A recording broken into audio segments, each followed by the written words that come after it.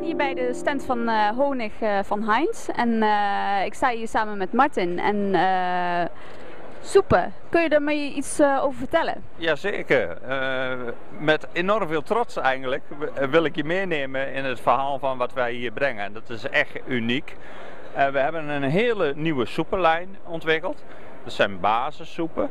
En we hebben de mogelijkheid gehad om door middel en samen met koks uit de praktijk, uit verschillende richtingen, catering, instellingen, horeca, hebben we mee om tafel gezeten en gevraagd van wat vinden jullie belangrijk voor de toekomst. Bijvoorbeeld eh, bedrijven zoals catering en instellingen die naar een front office gaan.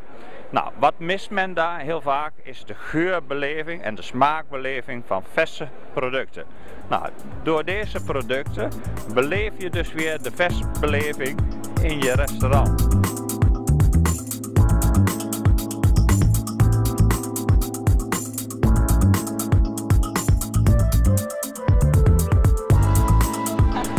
Waar ik jullie nu mee eh, wil nemen is, uh, en uh, onder de aandacht wil brengen zijn twee collega's van mij. En we willen graag het proces zoals het in de praktijk zou kunnen gaan, willen we samen delen. Ja, dus we gaan twee soepen maken. De basis hebben we daarvoor klaarstaan. Dat is de basis tomaten roomsoep die we gaan maken. En we gaan de basis kippensoep maken.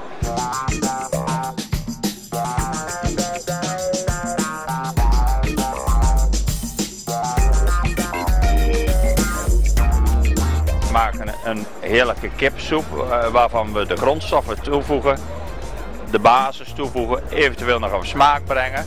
Ja, en dan uiteindelijk gaat het om, om wat de consument vindt. En dan uh, ben ik benieuwd wat jij... Uh... Ik, ga, ik ga proeven en ik zal eerlijk zijn, ja. Oké, ik ben benieuwd.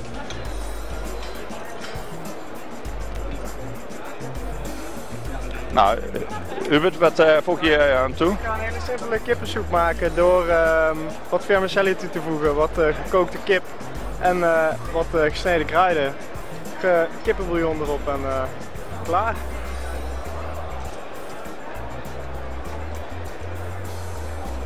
Ruik en proef, want daar is waar het om gaat. Dus ik ben zeer benieuwd.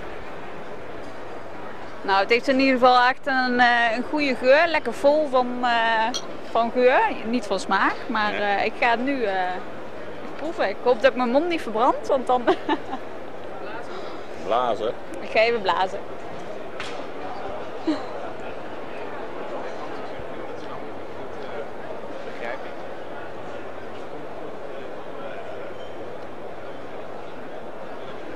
Nou, ondanks dat de soep heel simpel is, want Hè? Er zit een beetje mie in een kip. Hij is wel echt uh, goed van smaak. Gewoon lekker vol en uh, ja, nou, echt lekker. En dat is nou het leuke hier op deze Daily XL beurs. Is dat wij al onze klanten en, en de klanten van Daily XL dit kunnen laten proeven. Ja. En, en de reacties uh, die jij nu geeft, nou ja, die zijn voor ons heel erg waardevol. Ja. Want dat geeft ons toch het gevoel dat wij zeg maar op de, goed bezig goed bezig zijn.